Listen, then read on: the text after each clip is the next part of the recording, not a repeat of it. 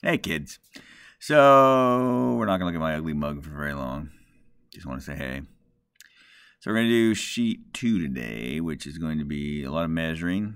And so, I've switched to the um, Surface Pro so I can do the camera in front of it and kind of hold things up as if we were in a classroom and you could see the up close and personals of that. So, without further ado, swap it around and let's bring up sheet two, which is right here. So we'll be working through this here, okay?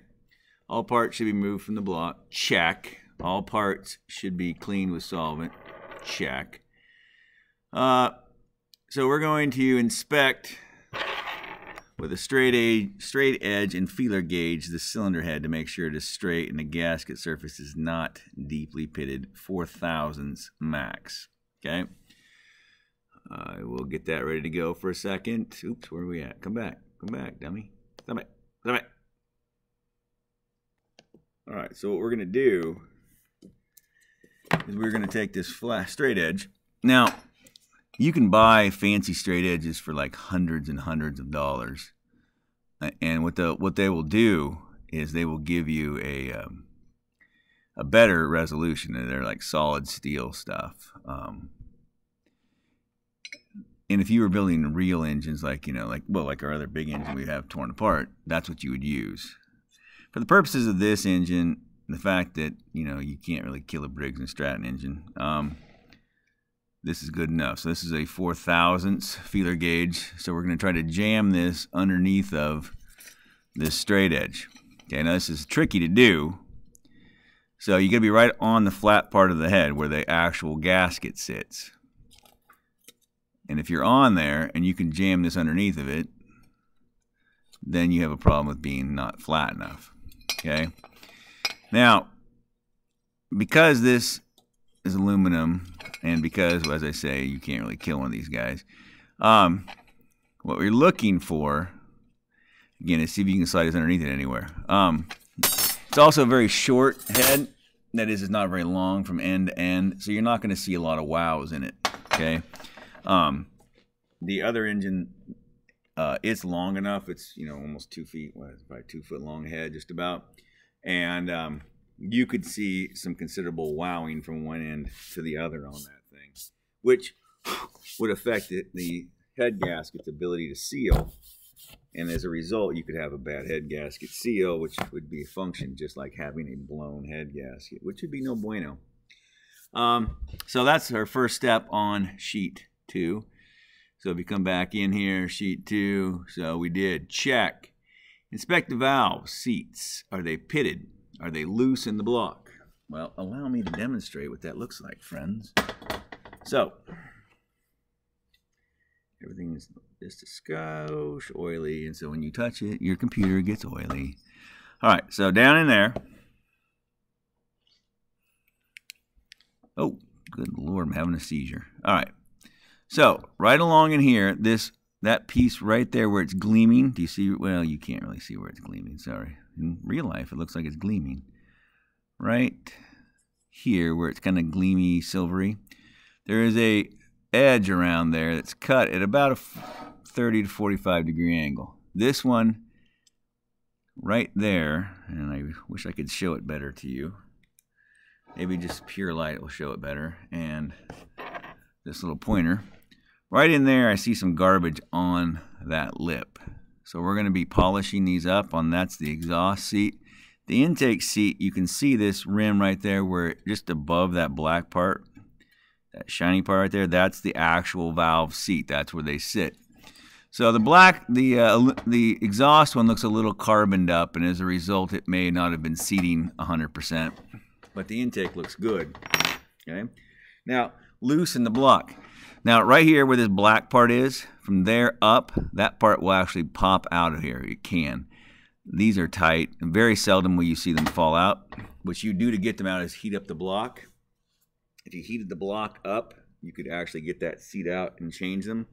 In the old days, um, people would actually, you know, rebuild things because things didn't cost a fortune back then. When I was in high school, we had to buy all the parts and we had all the tools to rebuild them, which is great but and it costs like I don't know ten bucks. Now it would be like hundreds of dollars to rebuild one of these engines from start to finish with bushings and repair everything. It's just silly. So anyway, as far as polishing up the seats go, we will be uh, doing what is called um, lapping the valves. And I'll show you how that process goes in a few days, or well, a few different videos from now.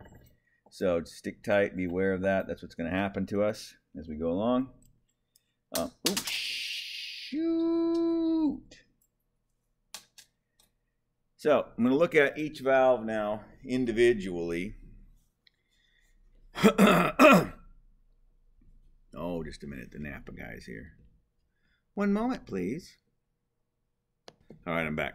So I have for our perusal one of the two valves. Let me show it to you. Voila. Okay. Now you're like, Mr. Green, which valve is it? Can you tell just by looking? Yeah, I can. But let's look at the seat of it. This is the valve face right here where the shiny part is. That is what makes contact with the shiny part of the valve seat. Okay. So this is the valve stem. This is the valve seat, right, or the valve face rather, right across here that sits on the valve seat. Okay, this is the head of the valve. Okay. Now, the most important part of this, okay, obviously if these stems get worn, you will get oil past it. That oil will get up and get burned. That's no bueno. We don't care for that much. Okay, so we're going to check that out, see how those feel. If you feel it, man, there's no wear on this one at all. Okay. Now, uh, that's just the feel of it. I'm just feeling. Do I feel? Do they feel scored or scratched? No, they feel perfectly smooth. As far as the face goes, it could stand a little work. So we're going to do again what's called valve lapping. What we do is put a little compound on this. It has some grit in it, and then we set it back in the head, and then we and we turn that grit between the two surfaces. And what it does is it makes the two surfaces mate together perfectly again. Okay. Like Mr. Graham, you didn't tell us which head, which which valve it was. Well, let's see which one it drops into.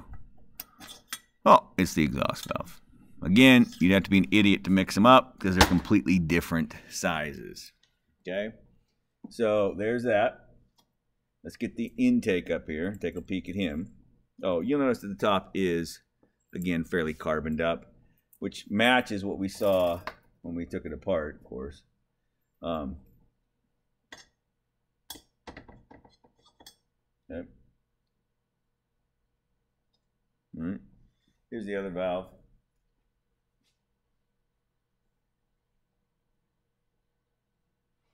Okay. Nope. Mr. Groom.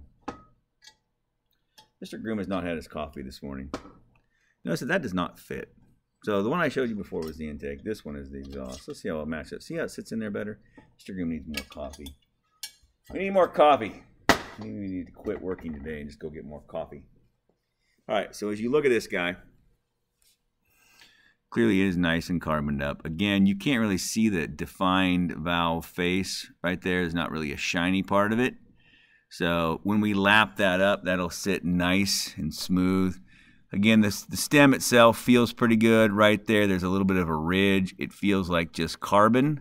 So when we go to clean this valve up, we'll go over and run it on the wire wheel and knock that little bit of carbon off of it right there.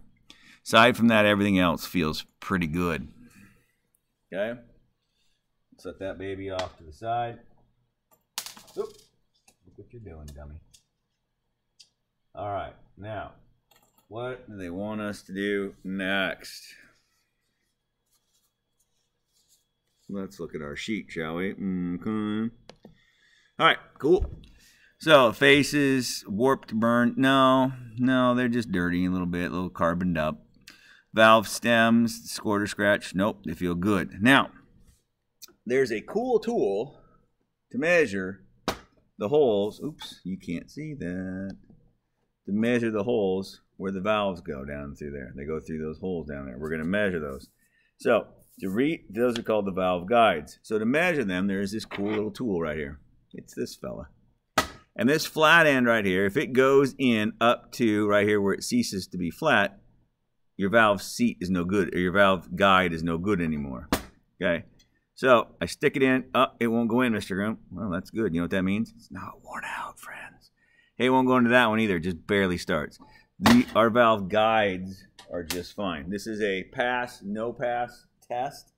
if this didn't pass, what would you do, Mr. I'd put it back together and forget about it because this is just an engine to play with. Um, if it were a situation where I would, uh, this was, you know, I really cared about this lawnmower never smoking again, then I would take and rebuild them. Okay. Uh, inside of this one, I don't know if you can see it. It's really hard to tell. Down here, maybe that's helpful. Well, my hand wasn't in the way. Well, ah! See that black rubber thing in there? This one has been drilled out. They put a brass insert with a rubber ring in it. That's been that's not factory. That is after the fact. Um, at some point, this intake, this was taken apart, which is mind blowing to me. And someone put a bushing in there. Okay, that's just mind blowing. Being that this is not that old of a mower, and rarely do things get taken apart and fixed anymore in our day and age. Okay. Uh, they're both good there. Now, we want to measure our valve stems, okay? So this is a, this is the intake, so we're going to pay attention to that guy. So I'm going to come up here and I'm going to write intake. That is not for you. Quit looking at that. That's weird. Okay. So intake stem so here's my valve, and here's my stem, like so. And we're going to measure the diameter of it. Now these are supposed to be quarter inch stems. So I'm going to use a mic, like we've used in class. This is, by the way, why we learned about them, is to be able to do measurements like this. So I'm going to place it on there like so. And then I'm going to, again, grab the clutch up here and come down and tighten it until it quits going. I was holding the other piece it there. That's pretty sweet. So if you look on there, we have point two, and then two five, and then 22 more. So that's point, what is that now? 247 thousandths as opposed to 250 thousandths. Okay, so we're about three thousandths shy. Okay, now that is for the intake. Now, interestingly enough, what we're going to look at is we're going to find, hey, what is the, we're going to find what is the, uh, what is our clearance in that hole. Okay, so to do that, again, that was the intake. I'm going to take one of my inside hole gauges, this one in particular, You'll recall these guys. And we screw it in and it splays out. Remember that? So it's going to be hard for you to see this. I'm going to stick in the hole there. I'm going to pull it out until I feel. Oh, one of my freshmen not put this in the right case? Mm. Oh, Okay, this one is a little screwed up, apparently. Yeah, one moment, please, while I go fetch up a good one.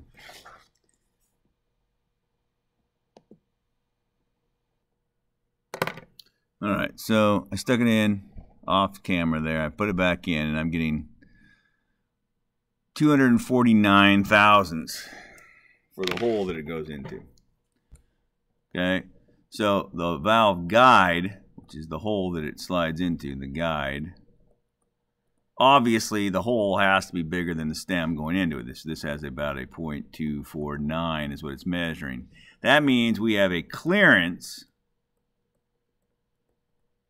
of 0.002, which I'd prefer you said as 2 thousandths. Okay, that's how that's going to go. Okay, now we're going to do the same thing with the exhaust. Okay. And we're going to see how that plays out here as well. So I think I'll just measure them. Uh, we'll measure them off camera, I think. So we don't have this thing going all day. Interestingly enough, they were exactly the same. So once again, our clearance, that is, it's always hole minus what goes in the hole, 0.002. Please never, ever tell me for instance, that the piston is bigger than the cylinder. That's ludicrous. Don't ever tell me that, um, I can't even think of an example now. Don't tell me that something that has to go into something else is bigger than what has to go into. That's ludicrous. Okay? So we are now going to then turn our attention to, oops, back to this worksheet here. Okay? And we are on sheet number or part number two of it. So we used the hole gauge, we did all that. There's our clearances, cool. But if you look back on page this, it says go to the overhaul manual, page six, section six. So that's at St. Helens High School. G.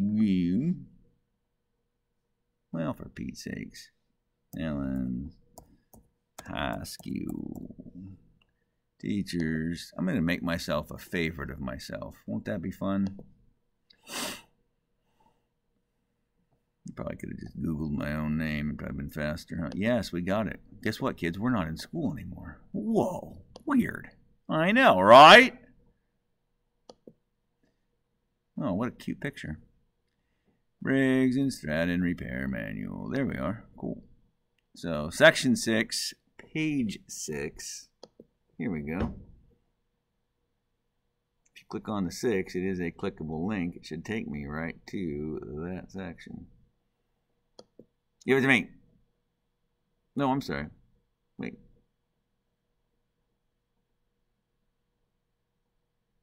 No, I'm on the wrong. Okay, never mind. I'm on the right deal for what I was looking at. I was on the wrong page in my mind over here. Page 6. You're going to be talking to yourself. There's 4. These are the valve guides. You can replace them. That's what I was talking about. And that's how you do it if you're going to do it. And oops, page six. Here we go. Page six. Here we are. Nice. Uh huh. Mm hmm. So yes, see that's where you know the flat end is marked out right there. Okay. Um, I thought it told us on this page. One moment, please. Anyway, we're fine because we know the our valve stems have not worn out. They are where they normally are, and mainly because of the fact that when we go put that uh, tool in, it did not go into our valve guides. That's how we know we're fine. But I just wanted to have you check that. So um, inspect the surface of the camshaft journals. So the camshaft is over here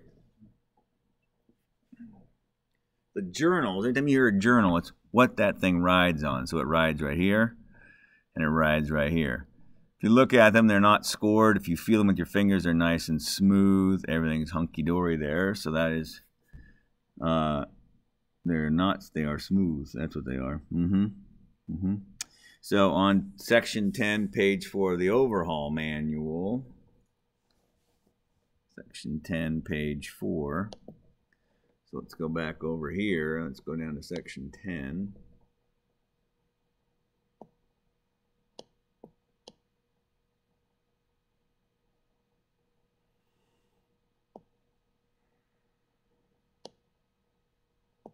Oh, for pity sakes.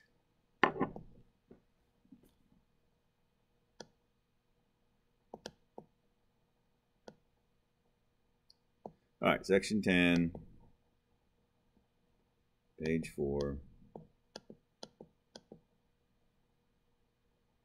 That was page four right there, right? Oh, fart. oh, for God's sakes, what am I doing?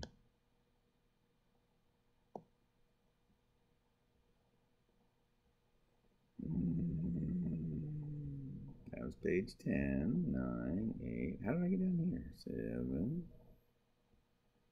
I swear I can run a computer. Five.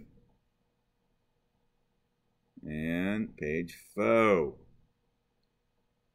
Okay, cool. Um, here it is. So,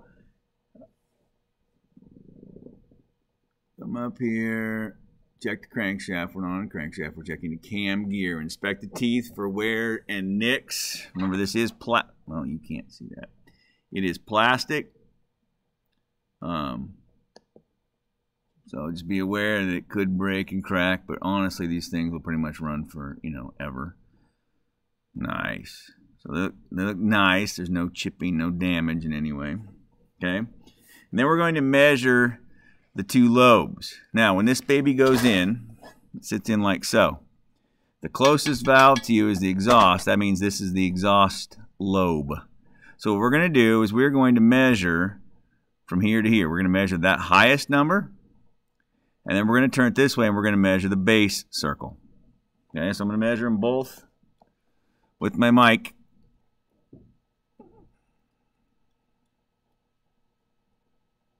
So, oh, nice. It just barely fits, people. Come on, get on there, you hippie.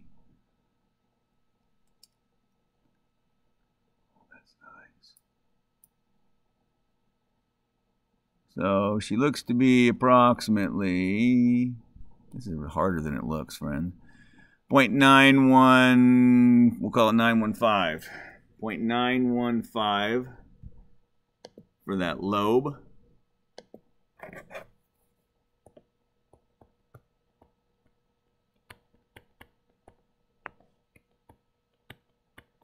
And now for the base circle,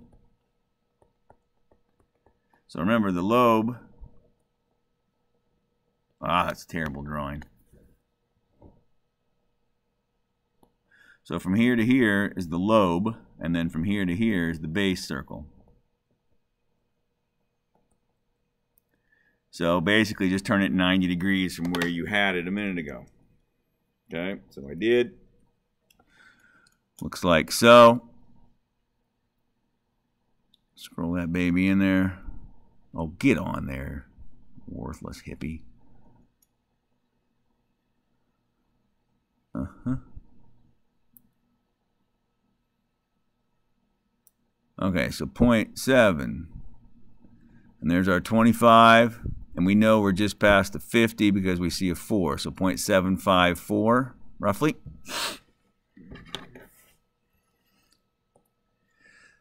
Good grief. Okay? And now what they'd like you to do is they want to find what's called the exhaust lift. So when that, remember, as this baby turns around, at some point, ooh, at some point, well, that's terrible. Your push rod is going to be here. Remember this part here, this circle does not move. So we're going to go from here up to a maximum of, again, this is the same height, up to here. And the difference between here and here is what we call the lift.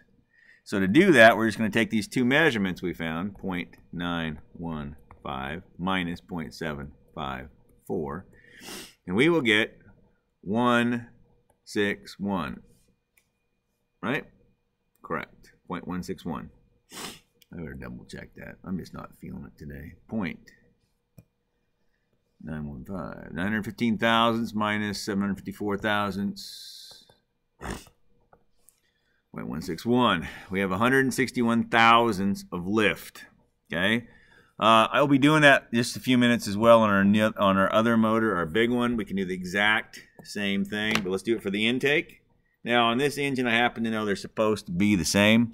That's not always true for all engines. Sometimes you'll see that the intake, like on a, not on lawnmowers, of course, lawnmowers are not built to be exactly, uh, they're not built to be exactly high performance rigs. So, you're supposed to cut the grass with them, man. You're supposed to like hot rod them. So here we have 0.917, looks like. So it's very similar to what we had on the other one. Not surprising. Again, that's on our lobe. On the base circle, we're going to be sitting at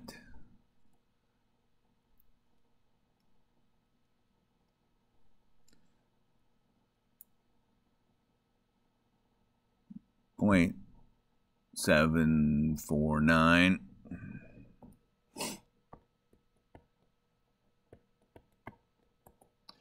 And uh,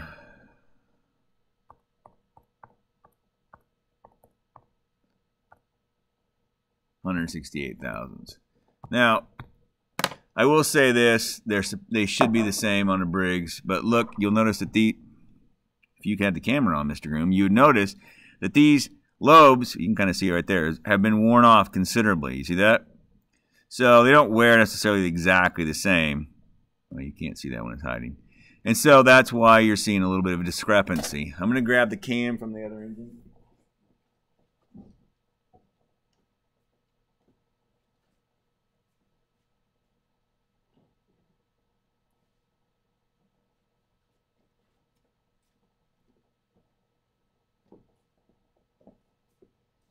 Ugh. Now, if you look at these, you can see how that is what a lobe should look like when it's brand new. Nice and pretty pointy. There's a little bit of wear on this. Uh, most of this wear that you see is actually not terribly bad wear. It's mostly the fact that it's had water in this engine and it's not really helped anything. It'd be nice to polish this crank. I'm not going to put a new crank in this engine because I just don't really care that much about it. I'm going to pause us and I will do the measurements off camera for this one and just show them to you.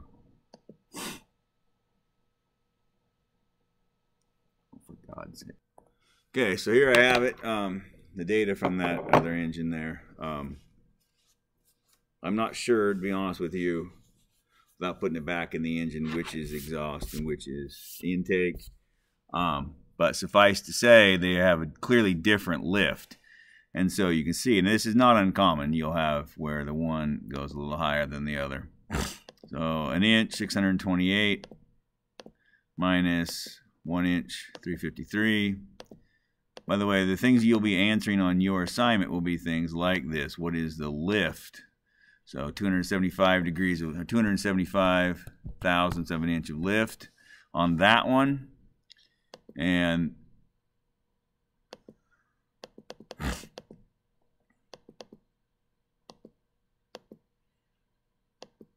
264 inches of lift on that one. Okay, so that's the kind of thing I'll be asking you about on your assignment. Okay, so let's see where we at here. That clears us up to, if you're playing along at home, uh, yes, we're good. Yeah, we've done all this. What is the lift? Is down here. Got it. Okay, now we want the cam, journal, PTO end, and magneto end. Okay. Uh, oh, step 13. Did we not measure the, the lobes? Guess we did not measure them. Oh, here we go. Hmm. Okay. Uh, and so we'll measure these cam gear and the other end. So on the gear end, it's right here.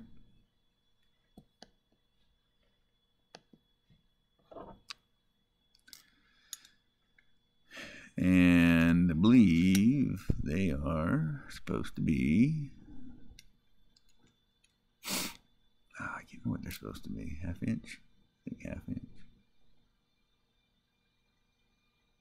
Uh, look at that. Like right on the button. Half an inch. Nice. What about the other one?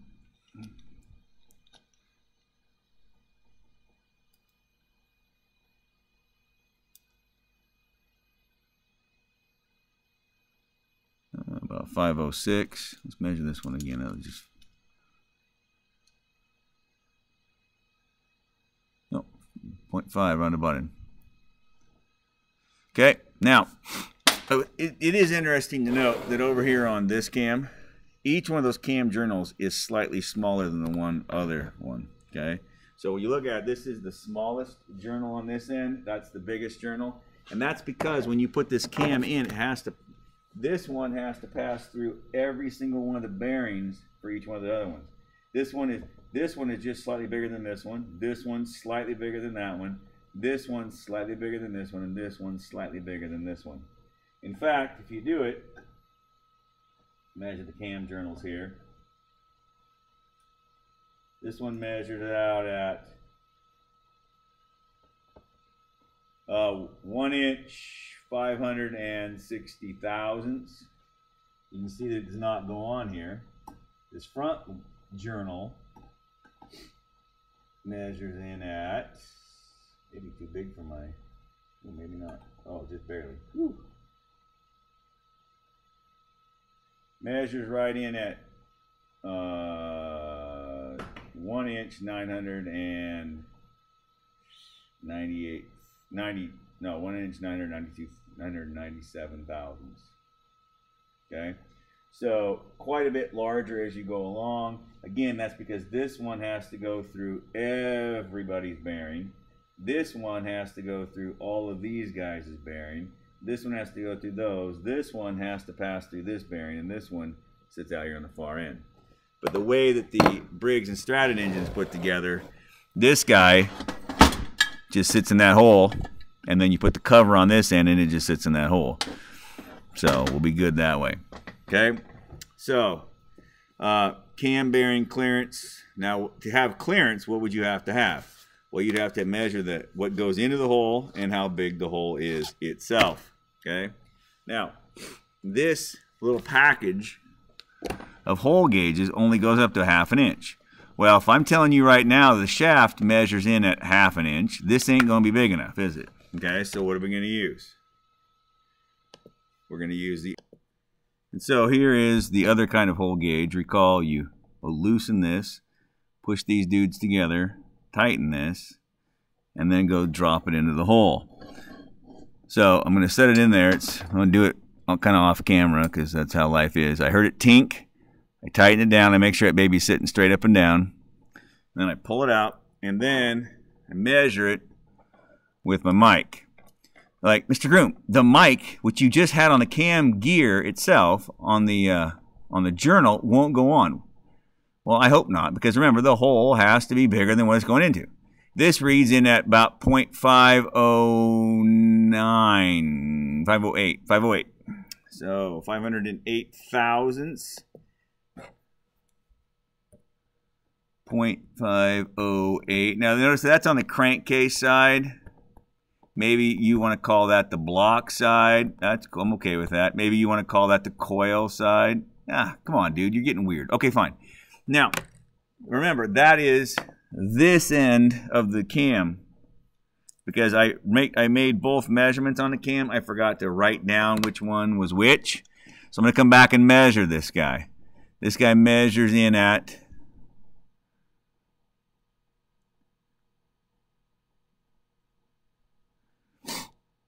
Uh,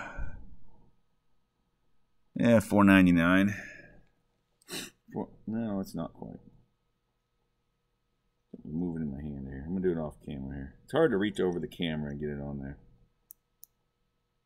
Okay. Yeah, okay. So we're gonna call it exactly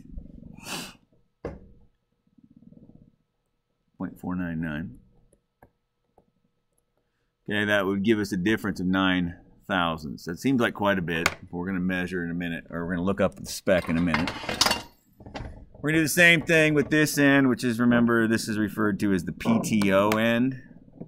Do the same thing. We're going to take our hole gauge. We're going to hold the ends together. We're going to loosen up, tighten it down again. We're going to stick it in there. I heard it tink. Pull it out. Get our mic on there. Oh, Mr. Groom, it's too small because you were just measuring the journal. I know, I know, I know. That's how it goes, dude. Click, click, click. So 500 and yeah, 507, just about 508.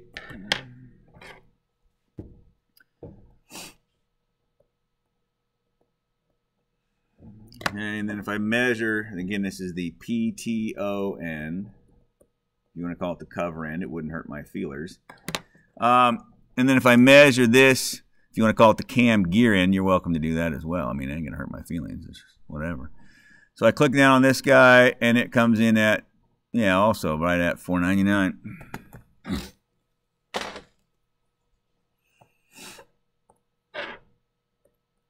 So you have about eight thousandths of clearance here. Okay, now if you go back onto the online text, which is right here. Um, okay. So note 20,000, uh, blah, blah, blah, blah, blah, Camgurn channels. Here we go. Here we go. Here we go. I'm going to pause you while I find the exact spec. Oops. So if you see right here, it says table three, number 26, page 26 down here. So let's go down to page 26 in this section.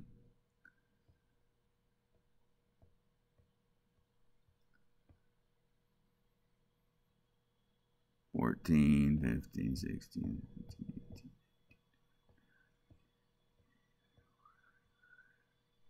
Here we go. And so as you know, we have a 10,000 series engine. Okay. And there we are. So that's for the crankshaft. So I must have been the wrong page. I was page 24. That's crankshaft. Camshaft. Aha! There you go, friends. So we should reject if we are 498 thousandths or smaller. And we should, if our cam lobe is smaller than that. Okay? I don't remember what our cam lobe measured in at, but we're clearly okay on our journals. Our cam lobes measured in at 0.917 and 0.9 whatever. So we have quite a ways to go before we reject our cam. Our cam is in good shape. Okay? Back to here, back to here, back to there, somewhere. Nice. Uh, maximum acceptable cam bearing clearance, minimum acceptable clearance. Minimum is two, is two thousands.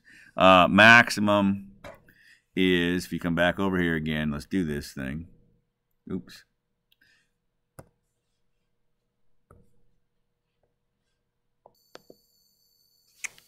So, oh, I'm sorry, I forgot where I was at. I was doing some other things here. Um, so maximum, yeah, somewhere around 10 and 12 is probably too much worn out. There's not an exact one. Uh, it's just a minute. Anyway, so custodian was just here. So, Bad parts, we didn't find any bad parts on this one. Uh, valve guide clearance, that's the difference between how big the hole is for the valve to go into the valve guide and the width of the stem, the valve stem. What happens if the valve guide clearance is too much? You'll get oil past the valves, the, stem, the valve past the valve stems. Uh, it'll come up the valve stem, and then it'll get into the into the cylinder and will burn it, which is less than bueno. You'll see blue smoke. If it was too little, it could actually bind on the valve. That would be a problem. Okay. Reject size means if it is either the hole is bigger than a certain value, or if it's the valve stem, or the cam lobe, or the crank lobes. If they're smaller than a certain amount, we're going to pitch them. Okay. And then what would the result be if the cam lobe was smaller than the reject size? Okay. Well, if the lobe was smaller than the reject size, pitch it. Okay. Uh, what would happen if you tried to run like that? Your engine wouldn't run very well. Think about it. It'd be kind of like your engine had asthma or something. It couldn't breathe properly. If you had an exhaust valve that wasn't fully opening, it couldn't spit out all the bad exhaust and it couldn't wouldn't run very well. If it had a bad intake lobe that was worn too much, what would end up happening is it couldn't breathe in enough air and gas and it wouldn't run very well. Okay, so that does it for this sheet. Uh, the assignment for this guy will be a few more conceptual questions and then some math, of course, to go with.